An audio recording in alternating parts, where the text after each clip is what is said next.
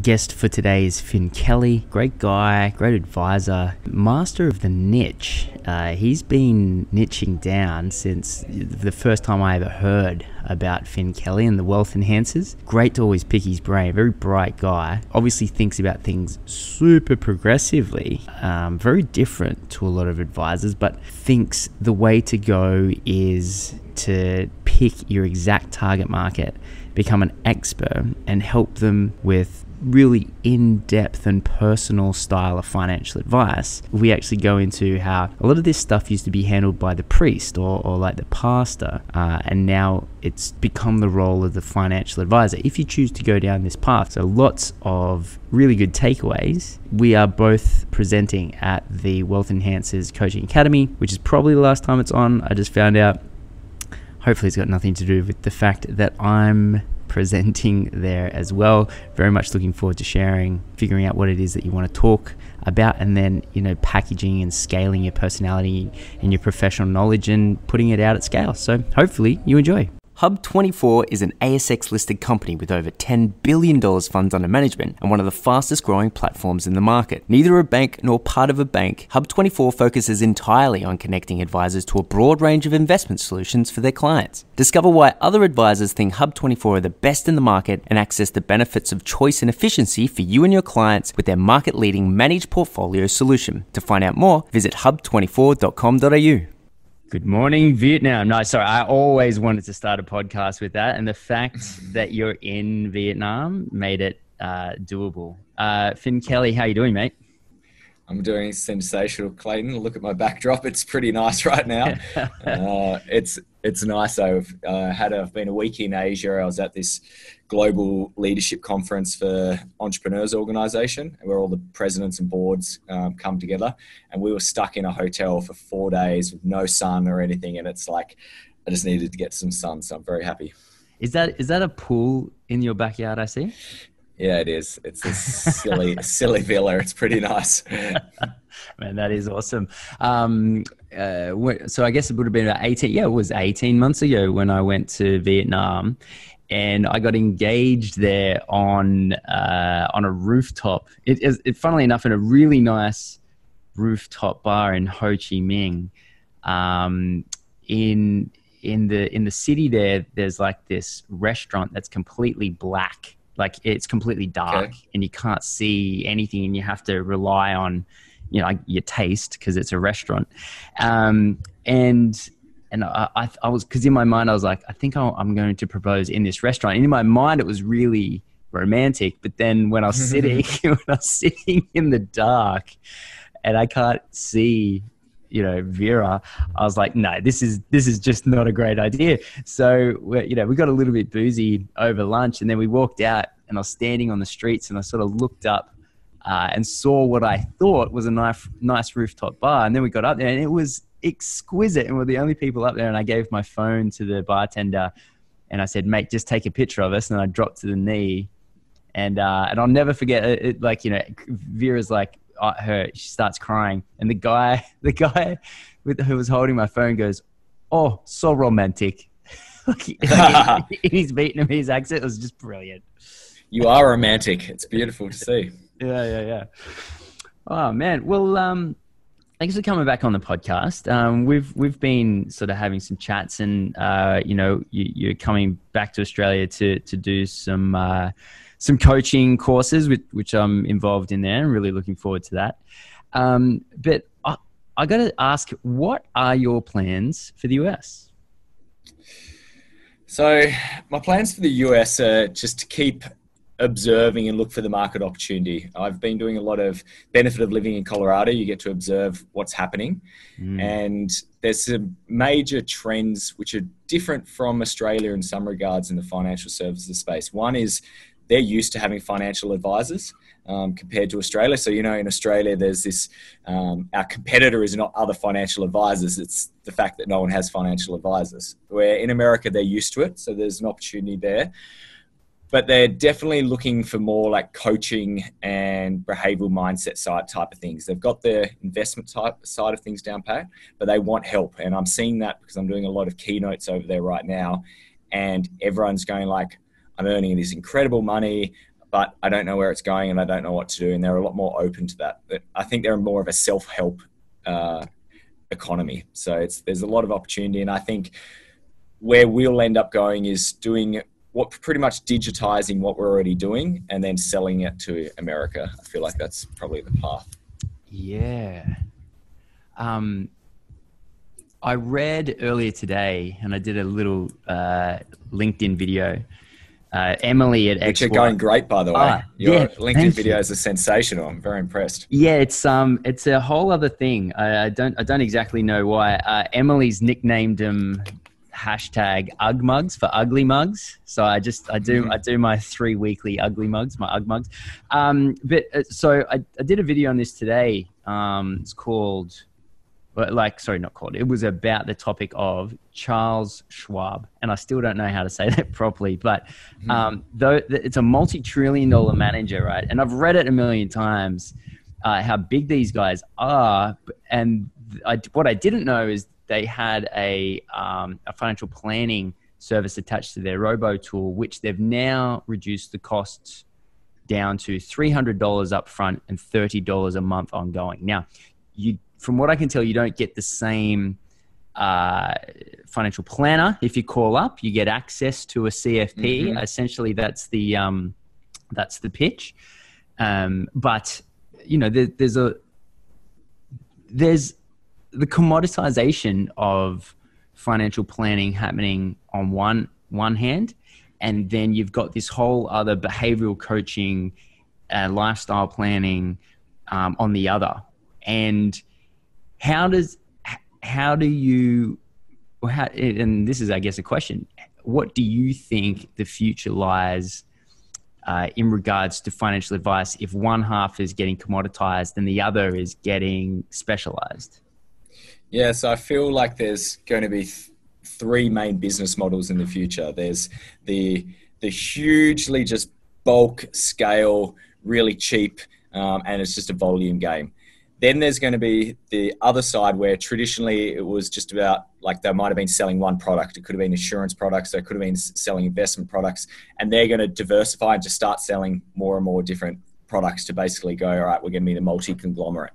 And then the third one, which I feel like all IFAs really need to play in, is this mega niche industry where you are offering one experience. It could be you're working purely with lawyers, or it could be working with, um, like for us, we're working sort of like these 30 to 36 year old females who um, are high performing and um, they want more out of life. So you've got to go that micro niche and in that area you can play the price. Like you can you can charge premium for that. But in the other two business models like we're not going to be able to compete in that space anymore. And i feel like if your business model is there you're going to be done very, very soon. Um, because how can you compete with those huge companies which are offering uh, pretty much what you're offering, but better and cheaper? And if you're saying that we're different because we do relationships, that's just run of the mill these days. Like everyone's in the relationship business. You've got to be offering so something so special and unique to the type of people you want to be working with. Brett Evans, who um, he's a Queensland-based advisor. He's become very well known uh, in the industry for doing expat advice, and mm-hmm. um, and he he drops a, a, some some few uh, you know high quality pieces of information in the Facebook group that we have, but. Um, one thing he said the other day really s- just struck me as being super insightful. And it was someone who was opening their business and that okay this is this is what i'm going to do. Thanks for the support so far. I've learned so much on the group. What are the things that i should pay attention to? What do you, what is what is the key thing i should pay attention to? And he said one line everyone had like all this advice. He had one line it was pick your audience outsource everything else. And i was mm-hmm. like wow. That just the clarity that he has, uh, I thought was phenomenal. And you know, I've been going through this concept, like he, I've been going through that particular line in my head quite a bit, and I, I, I realize we're all we're all actually just media companies, right? And we don't need to create our own platform. We don't need to create a news.com.au, for example, because Facebook and LinkedIn, mostly LinkedIn, LinkedIn allows you to open up a company page and immediately start producing content. So, so you're a media yep. company, you, you have zero tech cost, zero. There's zero tech build. So you don't need to know anything about tech because it's all there for you. Um, and then it's your job just to do a couple of things talk about what's interesting to you and then talk about what you're an expert in and that's going to draw the attention of people that are educated and are ready to get services off you.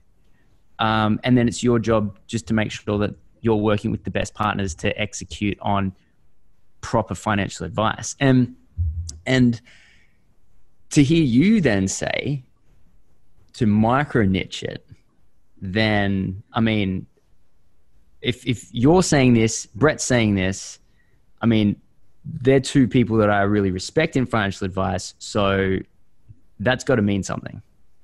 Yeah. And a niche isn't like millennials were a niche when we first started because everyone was like working with baby boomers. It's not anymore. Like we can't be saying we work with millennials. Like that's not a niche. Like now, so we've identified that, yeah, ours is this like – we have a full avatar and she's a particular age and she's in this particular state of her life and she's earning this amount of money. Like uh, she likes lululemon all these different things. So psychographics and demographics. So have making sure that like there's the demographic part which is just the run of the mill what are they earning? And then there's the psychographics which is what are they into? What are they passionate about? How do you characterize these type of people? Yeah. And and how i mean how do you so I, I in, my, in my mind, just using something like a LinkedIn platform is so effective. Um, what do you have to say about uh, old school snail mail? Do you, do you do you do any of this sort of stuff? We don't do any at all. Okay. I did read an interesting article that it's apparently coming back and getting some results. Yes. Uh, but the challenge is, is can you measure them? Um, so with digital meat um, marketing, you can measure it all. And yes, the costs may have gone up, but if you've got proper funnels which aren't leaking, then you can still capture a huge return on investment. And that's something we're working on. Like we're still got very leaky funnels and we're trying to like just plug the holes and work out, all right, how do we go to the next level? Yeah. Do you think, um, do you think the tools and the software, the tech, I should say, do you think the tech that advisors are use that advisors are using is going to change in the in the short to medium term. And and what are the big differences uh, in tech that you're using now compared to five years ago?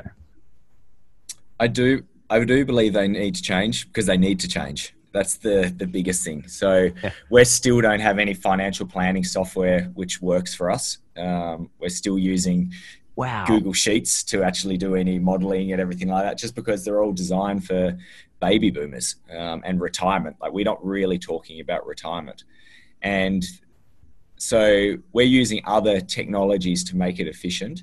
Where I think we're going to see the big changes is we're going to be using more like robo advisors as part of our business model. So rather than seeing robo advisors being our competitor, I see them as actually just being a greater executor of the investments that we're already doing. So we'll be a add-on to robo advisors. And if I did launch in America, that's what I'd be doing. I'd be partnering with a Betterment or a Wealthfront or something like that and saying like, all right, great, you've done this optimization. We're going to be the human element on the other side and yeah. it's almost like augmented re- reality. Uh, so virtual reality is putting yourself in a whole another position. Augmented reality is how do you use what's happening already there and enhance it with some technology. And I feel like that's going to be the advisor space in the future because the the consumer demands it. So we just had an interesting experience with a member who uh, had expressed concern with us, and this is the important part. This is a separate story of how don't make assumptions of why someone's not happy with you because you often don't know.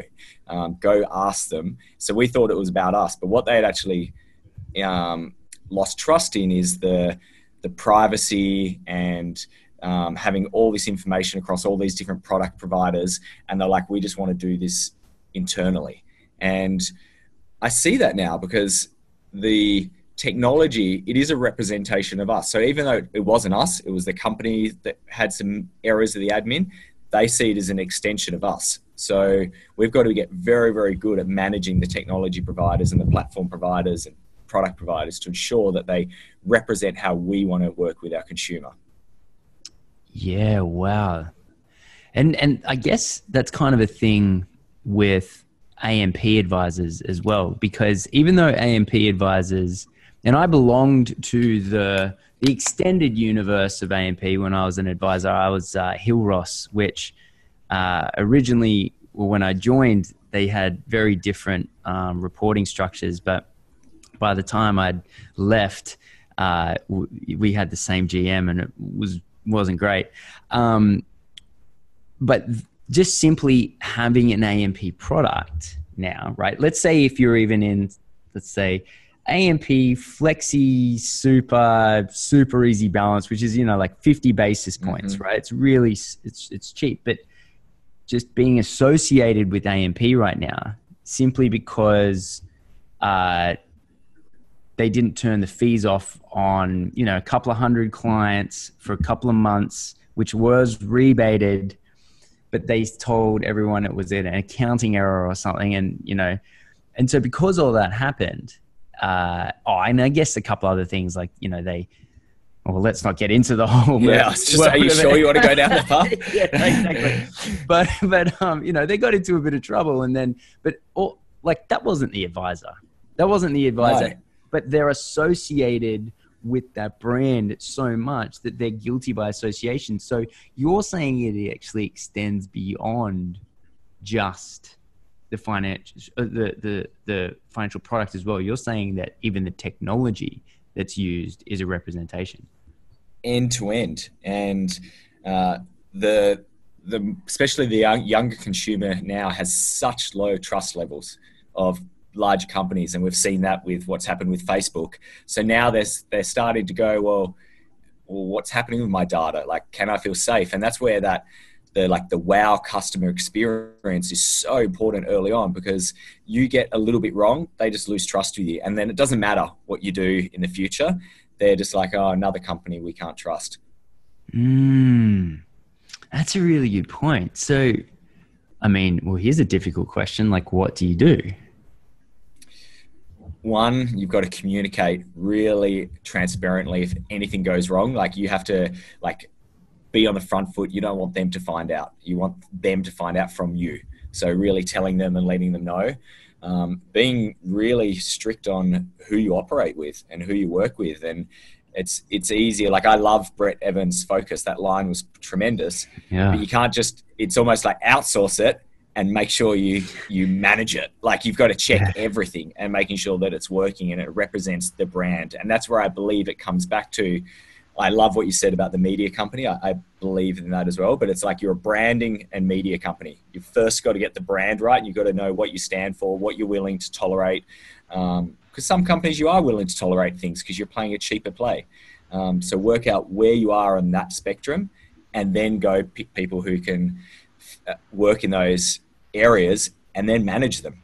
Like you have to be on them, and if you don't have something which you're not enjoying about them, you have to have the uncomfortable conversation as soon as possible. And that's that's something which I'm working on myself. Is like every day I write, what is the uncomfortable conversation I need to have today? Because there's always one. There's always one with someone.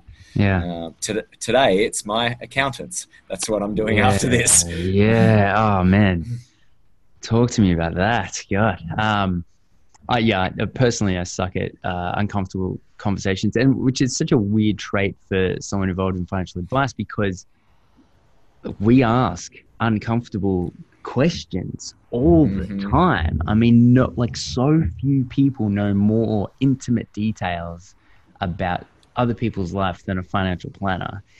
Um, and that and that all it's still it still actually really surprises me the level of emotional input or the emotional uh, intelligence, I guess, that an advisor needs.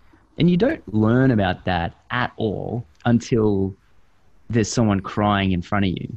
And you go mm-hmm. you know like for the first time you go oh shit. Like i was not prepared for this. And then you know you go on and and, and it all it all begins to make sense um and that's where the value is added that's true yeah. value is added in those emotional moments. And this is where I believe the current, it's great what's happening in the financial advice industry with the improved uh, advisor qualifications and training, but they're not addressing the real, they're not addressing the like, like how do you actually communicate with someone who's in a challenging position? How do you challenge them? How do you interpret their body cues to know what's really going on. That doesn't that isn't taught in the education program. That's why we've launched the coaching academy because we we need that for our own business, uh, for our own coaches in our business. How do we teach those side of things? And it comes with practice. But what about the first three, four years of the clients that you're working with when you weren't trained in that? Like they're not getting as good as quality as someone who's a bit more experienced. So that's something where we need to address uh, the change in the industry. And it's similar to like the everyday consumer. Everything we do in life comes back to money somehow, but we don't get taught that in schools. It's basically, oh, yeah, get all this education, and then first day you're earning whatever your paycheck is, hundred thousand dollars a year. Go go into this world and good luck, um, and and look at all the problems that come back because of our poor relationship with money. And that's that's what I'm passionate about talking about in the world now. It's not about uh, making more money. It's how to have a better relationship with money. Yeah, that's a really good way to put it. Um, how's this? So, uh, quite a wealthy gentleman that I know. Uh, he recently retired. Was a very successful guy. Recently retired, and I catch up with him every now and again because uh, he's got a, some really good insights. And uh, I, I know for a fact that he is like like so many people not enjoying retirement, right? Especially especially older older guys that uh, have you know these powerful positions where everyone's waiting on them, and then they mm-hmm. then then there's no reason to get up at six a.m. on the Monday, right? And then compound over one month, six month, a year. It has a really big effect on these guys' psyches, and so. Now, I'm just not in a position because uh, I don't know him that well to to tell him that he needs a new financial planner. But I was talking about it with uh, with a buddy of mine who uh, actually it's Ray Jaramas, one of the co-founders here at XY. He's done a psychology degree, and I said to Ray, I said, I wish I could just tell him to go talk to you because w- he doesn't need better money management right now. Like he needs to be in a conservative asset base that's going to protect him for the next 40 years, sure. But uh, he needs help with mm-hmm. dealing with the emotions of retiring. And and I guess that's like you you don't hear that before you start in advice and before you have an advisor, before you know anything about financial advice, you don't realize that that's the conversation that advisors are having about their clients. It is how is my client emotionally handling this uh, life transition phase? in their life? Yeah, yeah, yeah exactly.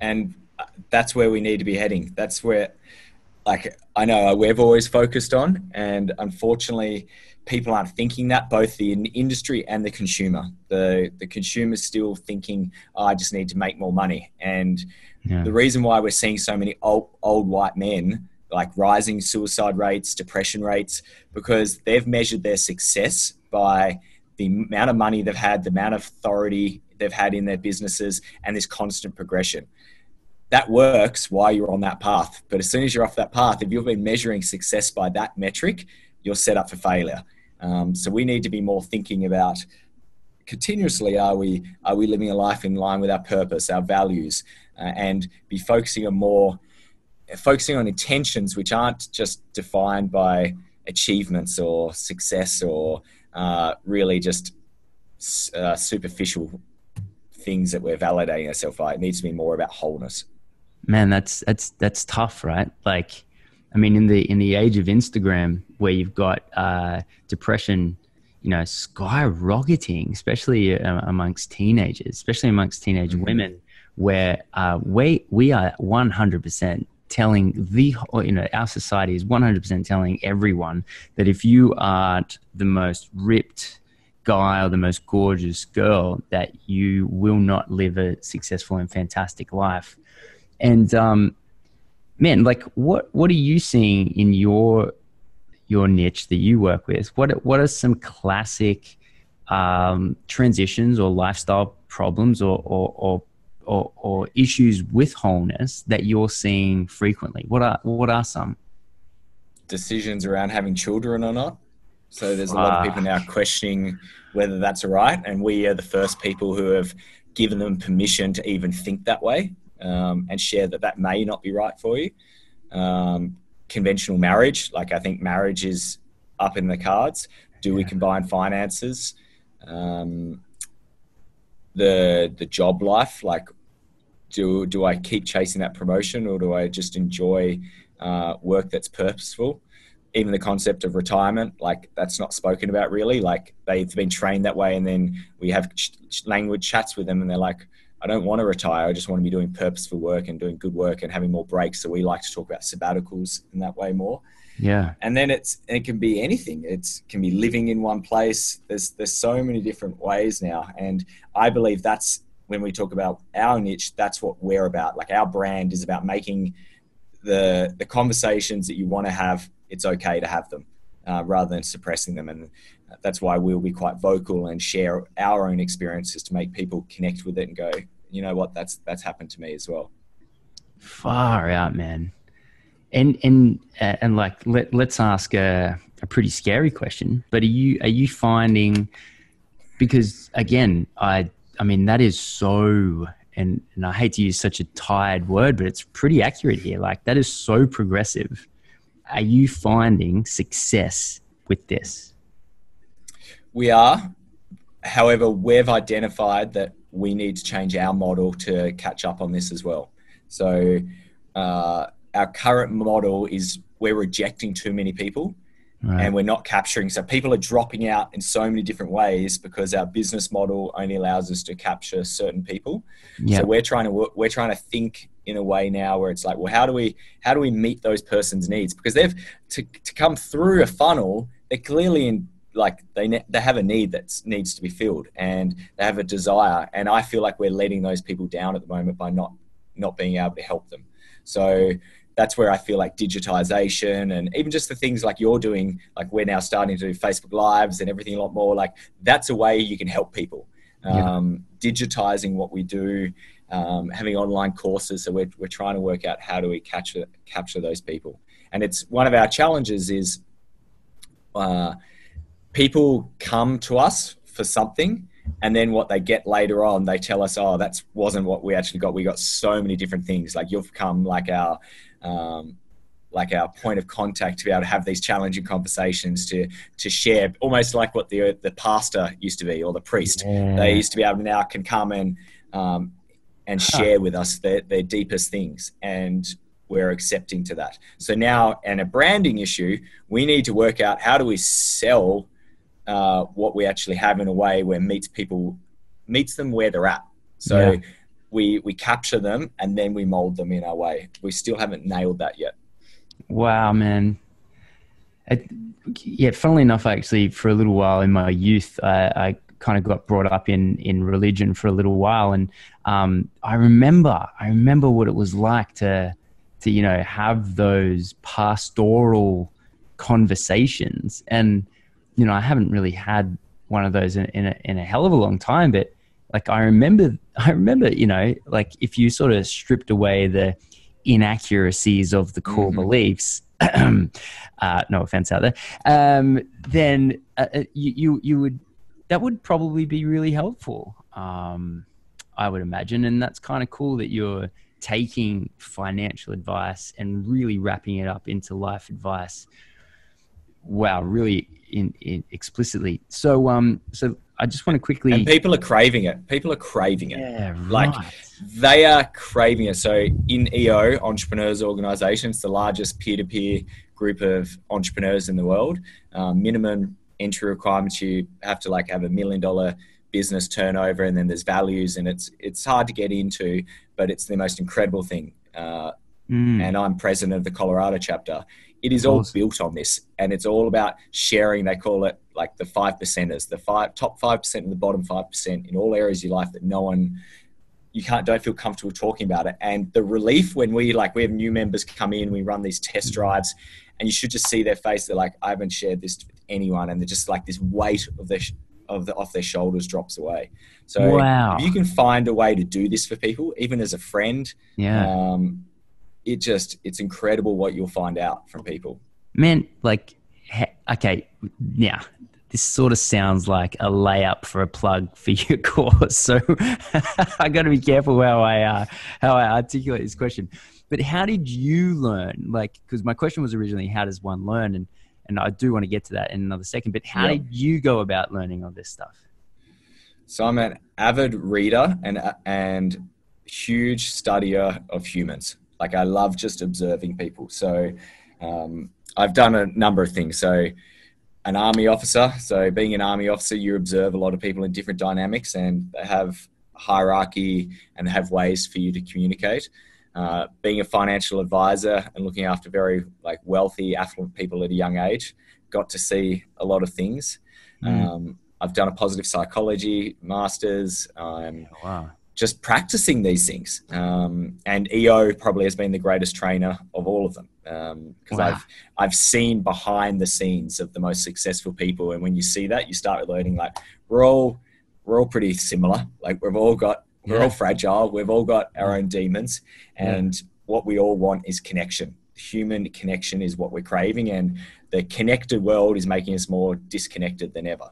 Yeah, far out, man so all right well let, let's get to chat about because you're you've been doing these uh, coaching academies for a little while now. Um, and I'll, I'll be uh, guest presenting at at, um, at the upcoming one. It was on the goldie. Yeah. Uh, it's now moved to my backyard sydney. So it's uh, the 6th to the 8th of may. So that's what in three weeks or three or four weeks? Yeah it's three weeks. Yeah three weeks i think Awesome. So looking forward to, to that. Um, talk to us about what's going to be there, how to get tickets, that kind of stuff. Yep. So it's it's going to be three days. We it's a very focused on how to become a better coach.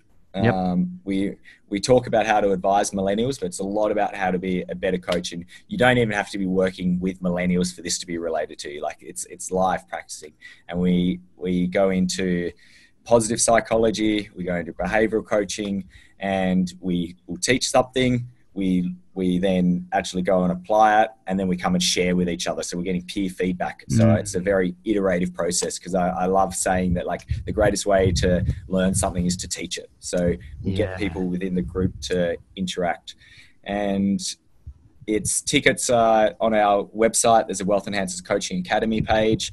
Uh, we've actually so there's a couple of things we've done. So we reduced the price a lot for this one. Uh, yep. Traditionally, it was fifteen thousand. Yeah, it is. We've lowered it. No, we just realised we were knocking once again. We were limiting people. Like we'd have some young advisors who come out, and we're just like, I just can't afford that. And I was like, you know yeah. what? That, that's we're missing what we're trying to do there. So we've lowered it down to it's around seven thousand dollars or something. Yep. And um, I'm not sure if we're going to do this again. To tell you the truth, uh, I have just you're talking about focus. Yeah. We've identified that we're we're trying to stretch ourselves too thin again. We've been trying to help the industry, but yes. it takes us off off our own focus. So yeah. this may be the last one. Um, we've done five of them, and right. they've been incredible. And then we're just going to go back to focusing on our developing our own coaches. So if you want to get involved, I'm going to I'm going to give it all. I'll help you grow your company. I'll uh, set you up for success. I'll give you playbooks, which have, we've spent hundreds of thousands, millions of dollars to create, um, and you'll come away with, with, a successful business, and and you'll be part of my my tribe, and I'll help you going on. Um, and awesome. it's not we're not trying to fake scarcity, but I I just had to we were just having a chat as a team, and I'm like, do we really want to keep doing this? Um, yeah. So yeah, I mean, so incredible. I, I hope you hope people get part of it. Yeah, man. Well, um, I know what that's like. I know what it's like to feel like you're doing too much and and and to also feel like you're doing something for non-commercial reasons you know what i mean like out of a desire to to help and and this industry does need so much help so man like i the xy is a perfect example of that so mm-hmm. i know exactly what you mean and um man i'm super pumped. Uh, it's it's like a truly it's a, it's an honor to to be presenting um you know on how to identify you know what what message that you want to send and then how to scale that message out. And and that's really dear to my heart because if an advisor can just sort of productize their personality and their skill set and then send it as far and wide as possible then you're just going to end up working with the people that you like. So um, exactly. yeah and if you can't get value from the three days of just being around us two, yeah, um, there's they're like we're living in a house together. Like it's immersive. Um, it's it's a fun experience. Awesome, man. Well, um, definitely there'll be a, a, link in the description. Thank you heaps for uh, putting some time aside to come on and chat today. And uh, yeah, man, I'll uh, I'll catch up with you in a couple of weeks. Love it, buddy. Can't wait. All right, cool. Thanks for doing great work. Cheers, man. Bye. Cheers. Bye.